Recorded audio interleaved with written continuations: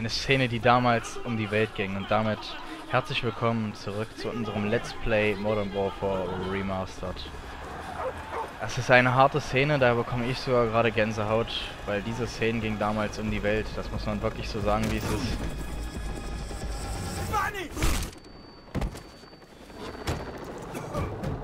Auch eine der Szenen, die immer wieder in den ganzen Trailern vorkommt. Oh, wir hatten eine Mini-Uzi, süß.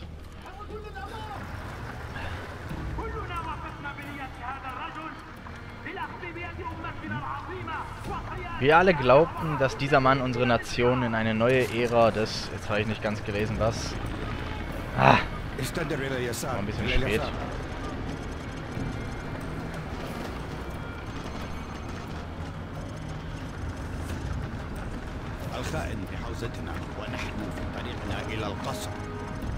Guck mal nicht so böse, ich hab dir nichts getan. Kauf dir lieber ein vernünftiges Smartphone, Junge. Aber genau wie unsere Monarchie vor der Revolution hat er nur seine eigenen Interessen vertreten, als er mit den Westen kollaborierte. Junge, lauf, lauf, wir kriegen dich eh. Haha.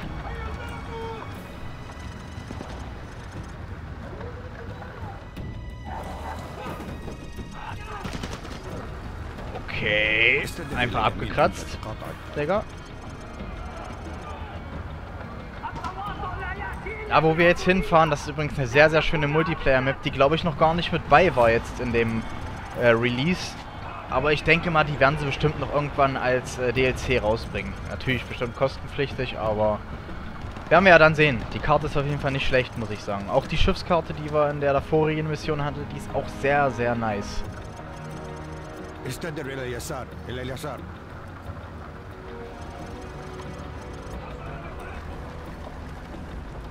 Da irre ich mich gerade. Ich bin der Meinung, wir fahren jetzt zu einer richtig geilen Karte.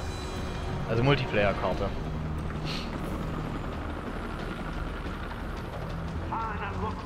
Vor allem, wo wir langfahren, ey. Zeit, unsere wahre Stärke zu zeigen. Sie unterschätzten... Oh, fuck, unsere Entschlossenheit. Und weiter habe ich nicht gelesen. War jetzt voll auf das Bild konzentriert. Als sein Volk werden wir unsere Brüder von dem Joch der fremden Unterdrückung, Unterdrückung befreien.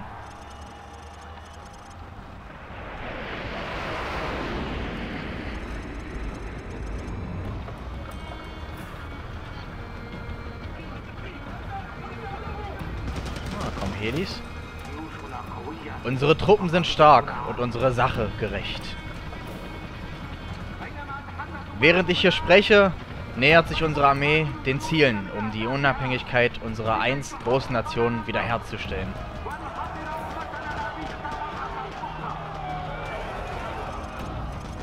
Hey, hey, das mache ich nachher mit deinem Kopf. Warte mal ab, Freund, sag ich dir. Ja, kriegst du einen rein. Ey, ich diskutiere gerade mit dem. Hallo, hallo. Ich fasse es nicht. Unser edler Kreuzzug und wieder nicht weiterlesen können. Ich bin zu langsam im Lesen heute, Leute. Tut mir leid. Bin ich heute ein bisschen zu langsam für. Oh, ja. Ich sehe kaum was. Wieder alles schwarz. Schlag. Der Tritt ins Gesicht, der war schon ganz schön hart, muss ich sagen. Da kommen wir jetzt zu dem Sprecher, würde ich jetzt mal behaupten, der gerade diese schöne Rede geschwungen hat.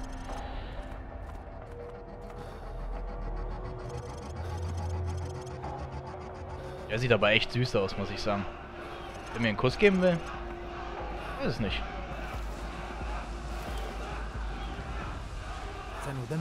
So wie unser Land zerstören, so werden wir das ihre zerstören. Diese Szene ist so heftig, glaubt mir. Oh, da steht sogar eine Kamera.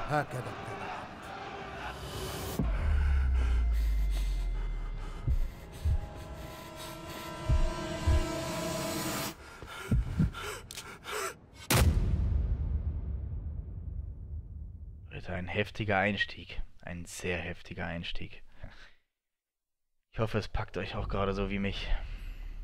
Captain Price, Al-Assad hat gerade Präsident Al-Fulani im Fernsehen hinrichten lassen. Die Amis haben Pläne für Al-Assad und für Al-Fulani können wir nichts mehr tun. Aber in weniger als drei Stunden wird Codename Nikolai in Russland hingerichtet. Nikolai, Sir? Nikolai ist unser Informant bei den Ultranationalisten. Er hat uns die Daten für die Frachtschiff-Operation besorgt.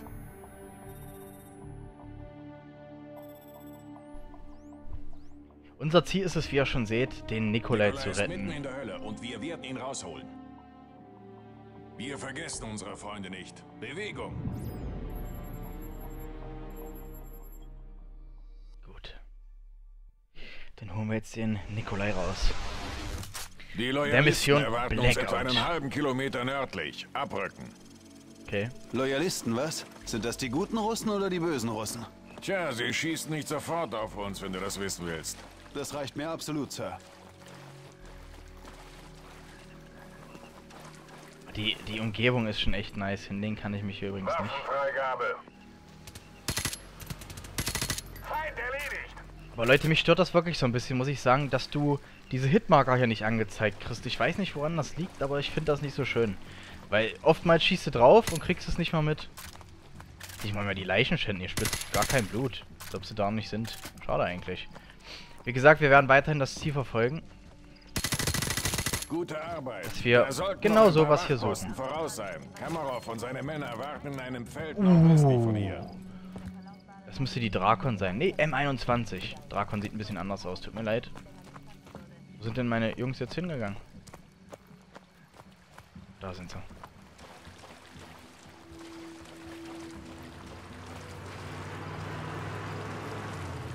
bisschen vorsichtig sein, wie ihr merkt. Ganz schön umsingelt von den Truppen, aber bis jetzt läuft's ja. Da sehen wir einen Schatten. Ja, Price, was meinst du? Wie hieß er hier eigentlich? Zwischen Gas, Gas, genau.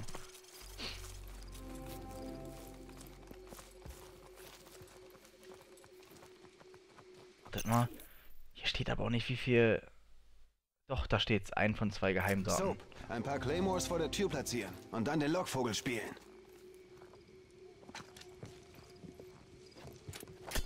Immer eine reicht, oder? So, was mit einer? Er ist erledigt. Nice. Ziel neutralisiert. Der ist erledigt. Wir gucken jetzt natürlich die Häuser nochmal schnell ab. Wegen der des zweiten Laptops, die Geheimaufträge, Geheimdaten. Eins von beiden war's. Namen schon wieder vergessen. Jetzt ganz schön weggenatzt. Aber ist jetzt noch alles relativ friedlich und ruhig, die Mission. Alles so ein bisschen im Verborgenen agieren. Gefällt mir eigentlich am, persönlich am besten. Ich mag es auch, wenn man gar nicht entdeckt werden darf. Aber ich glaube, hier waren auch ein, zwei Missionen bei, die genau auf sowas aufbauten. Das werden wir aber noch sehen im Laufe des Let's? Plays. Ja, Kamarov. Bisschen immer gucken. Die sind manchmal echt kurios versteckt, die Dinger. Ich weiß bloß nicht, wie es hier war. Willkommen im neuen Russland, Captain Oh. Price. Was ist das Ziel? Wir müssen einen Informanten rausholen. Die Ultranationalisten haben BM-21er auf der anderen Seite des Hügels. Ihre Raketen haben hunderte Zivilisten im Tal getötet. Nicht so schnell.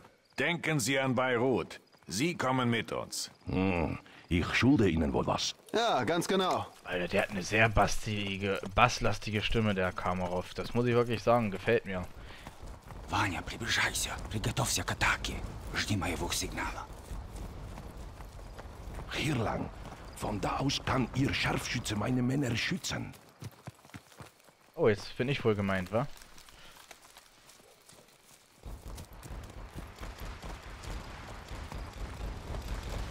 Oh ja, ich kann mich hier noch dran erinnern, so ein ganz kleines bisschen. Scharfschützen in Position. Gas, die linke Flanke decken. Verstanden. Decke linke Flanke.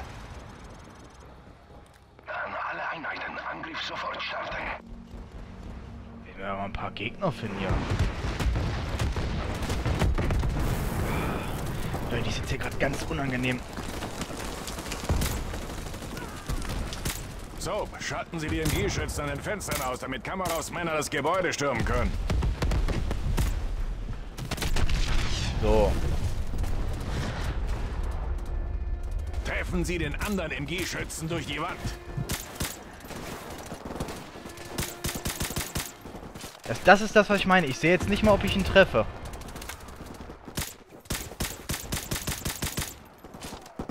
So. Keine Rückmeldung, nichts. Alles mal so. Nicht, ob ich den habe, Leute. Das ist jetzt echt ein bisschen schade. Feindhubschrauber. Sie haben nicht erwähnt, dass es Hubschrauber gibt, Oh Kamera. Gott! Das ich war einer von meinen Leuten. gesagt, dass es keine gibt. Wir müssen meine Männer vor ihnen schützen. Hier lang.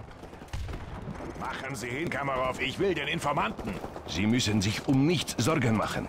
Wir erledigen die BM-21er und bahnen einen Weg direkt zu ihrem Informanten. Sehr, sehr schön bis jetzt. so. Какой статус? Сколько времени тебе нужно? Guck jetzt hier nochmal kurz. Ладно, я Aber буду hier sehen wir nichts разжевать, mehr. останавливать их. Wir sollten es einfach aus ihm rausprügeln.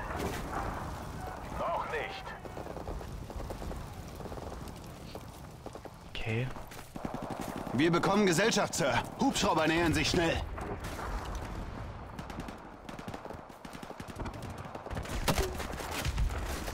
Gott, Alter, viel zu hoch geschossen. Wisst ihr was? Lass ich jetzt erstmal.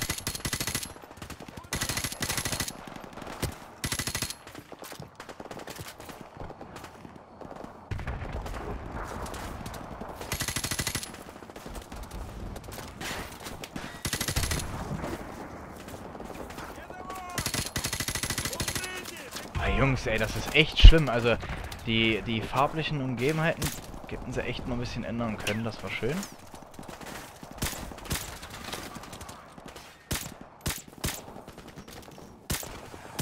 Ah, eine Granate, ein bisschen aufpassen. Aber ich liebe so sneaky Missionen, wo du einfach nur den... Da ist doch sein Kopf. Da hab richtig geguckt. Hier noch irgendwo was? Captain Price, meine Männer treffen auf schweren Widerstand. Helfen Sie ihnen von den Klippen aus. Und unser Informant? Dem läuft die Zeit davon. Dann helfen Sie uns. Je weiter meine Männer ins Dorf vorrücken, desto näher kommen wir Ihrem Informanten.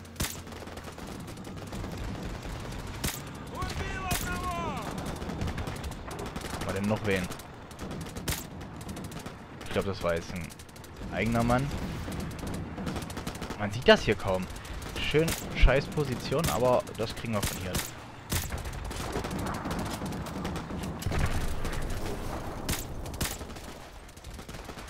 Da ist noch einer. Ist noch ein. Da kommt wieder einer. Schön. Und nochmal nach. Da unten sitzt noch einer. Im Headglitch.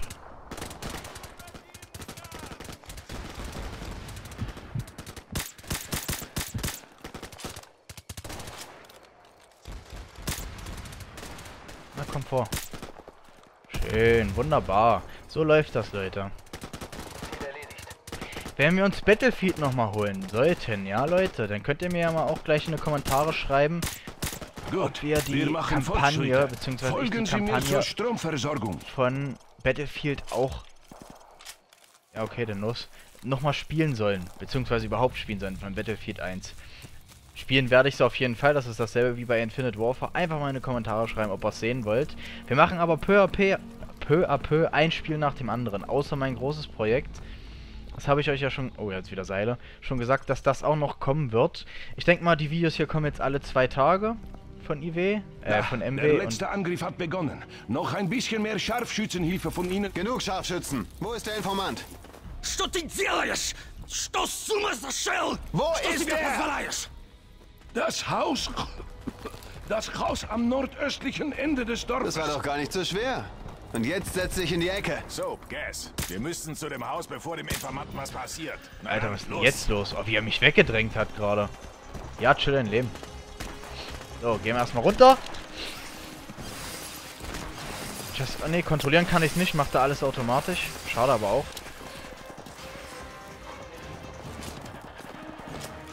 könnte man nochmal Munition gebrauchen.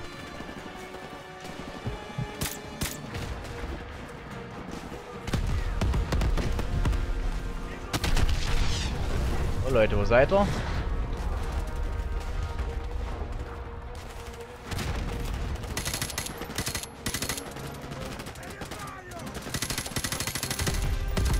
Auto-Aim ist unnormal. Ich kann mir auch nicht vorstellen, wie man so Spaß dran haben kann, wenn man so online spielt mit irgendwelchen Mods und Hacks. Gut, auf der One ist das ja doch relativ äh, fast unmöglich. Aber auf der 360, sage ich mal beispielsweise, MW ist zum Beispiel ein schönes Spiel, genauso wie MW2. Sowas zu benutzen, ich weiß nicht, wieso man sowas immer macht, Leute. Das kann ich auch selber nicht nachvollziehen. Einer von uns. So, was, Leute? Wir gehen jetzt direkt mal hier rein. Gott, Digga, übertreib's. Weil ich möchte noch den zweiten... Habe ich den schon? Nein, habe ich noch nicht. Die zweiten Geheimdaten, die werden ja... Bestimmt noch irgendwo rumliegen. Soll ich jetzt mal glatt behaupten. Pirschen jetzt mal ein bisschen vor. Hier ist nichts mehr weiter. Gott! Den haben wir mal einen Laydown gedrückt. Anders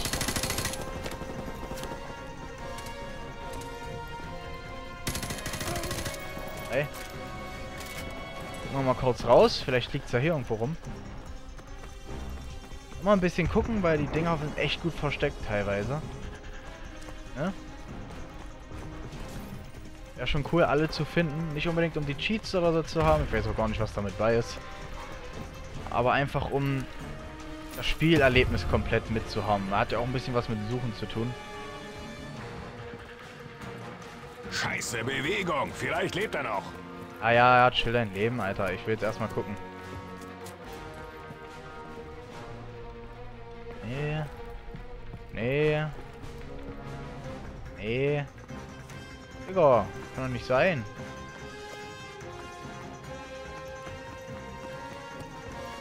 Weiß nicht, ob das jetzt hier nach Zeit geht. Manchmal geht es auch nach Zeit, dass du dann einfach... Ips, weg, zu spät, aber denke ich mal eher weniger, dass das jetzt hier gerade der Fall sein wird. Deswegen gucken wir uns lieber mal um sagen, ja, nein, vielleicht, aber bis jetzt habe ich hier nichts großartig gefunden. Vielleicht da noch in der Kirche, aber wir laufen jetzt erstmal weiter. Ich denke mal, wird eher so in der Nähe Yes, unseres Hauptpfades sein. und unterbricht die Stromzufuhr. Alle anderen bereit machen. Okay. Feuer.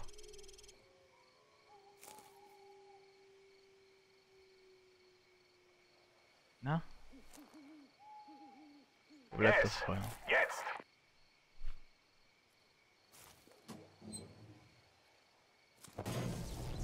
Oh, jetzt hier kommt's. Hat aber ganz Okay, schön lange gedauert. Los. Oh, das Nachtsichtgerät an. Victor! Diese Nachtsichtgeräte machen es einfach.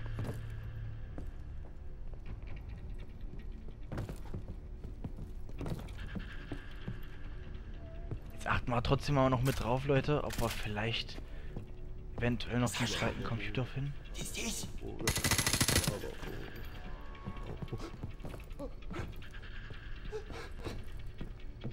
Oben scheint einer zu sein, wir hören ihn. Das war's, mein Freund. Gott. Jungs, hier kommt eine Nate, da gehen wir mal kurz weg. Gucken wir mal kurz unten, ob wir unten was finden. Hier lag nichts mehr, ne, gut. Kontrollpunkt erreicht. So eine Lichter, das ist dann immer hier, guckt, seht ihr, so ein kleiner, aber auch schon immer so ein MB, das sind so eine Lichter kommen, die dein Nachtsichtgerät absolut zerstören. Darauf kommt aber ein echtes Nachtsichtgerät auch nicht richtig klar. Oh Gott, ich dachte, das ist ein Mate. Uiuiuiui, das wäre jetzt übrigens mein erster Tod gewesen in der Kampagne, Freunde. Aber wir versuchen das mal, das nehmen wir uns mal als kleine Herausforderung. Wir versuchen es ohne Tod durchzuspielen. Das ist jetzt mal eine kleine Herausforderung für mich. Aber ich denke mal, auf Soldat sollte das möglich sein, okay? Schaffen wir bestimmt. Er ist es. Nikolai, bist du in Ordnung? Kannst du laufen? Ja, weil ich kann immer noch gar kämpfen. nichts. Danke, dass ihr mich rausgeholt habt. Oh, den, seine Stimme ist ja Bird, dunkler. Bravo 6 hier. Wir haben das Paket. Treffen bei Landezone 1. Over. Ordentlich trainiert hat er, Freunde. Los geht's, los geht's. Da sind wir her nicht hergekommen. Wollen wir hier nochmal gucken?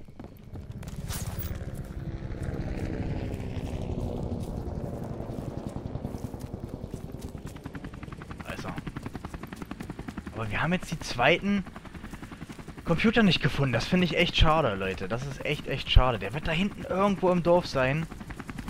Aber ich möchte jetzt auch nicht nochmal weglaufen. Wir können nochmal kurz hier gucken, ob da irgendwo was ist. Nee, hier nicht. Ja, okay.